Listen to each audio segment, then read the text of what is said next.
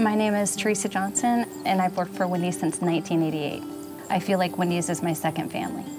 JD and I uh, were married in 1987, and we tried um, to have a family for about five years, and uh, basically just gave up hope.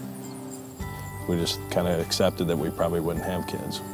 Then a colleague brought to my attention the Dave Thomas Foundation for Adoption, so we got very excited. The foundation definitely opened the door for us. Having uh, Taylor come into our life through adoption was just an exciting fulfillment of, of our dream.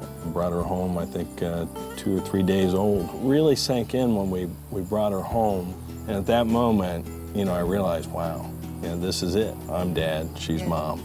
This is our daughter. So Dave first met Taylor at a people photo shoot.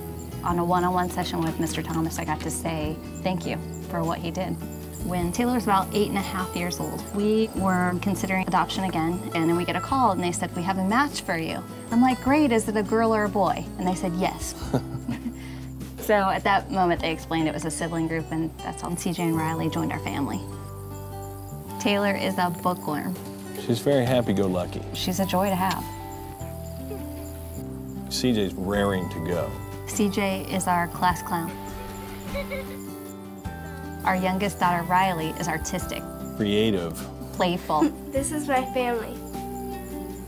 They've enriched our life so much, uh, but had we not been open to adoption, we would have missed out on that experience. That's why I'm thankful for the Dave Thomas Foundation because it, it gave us the opportunity to experience this, and without it, we probably wouldn't have. There's so many kids out there waiting to be adopted. Kids just want to be loved.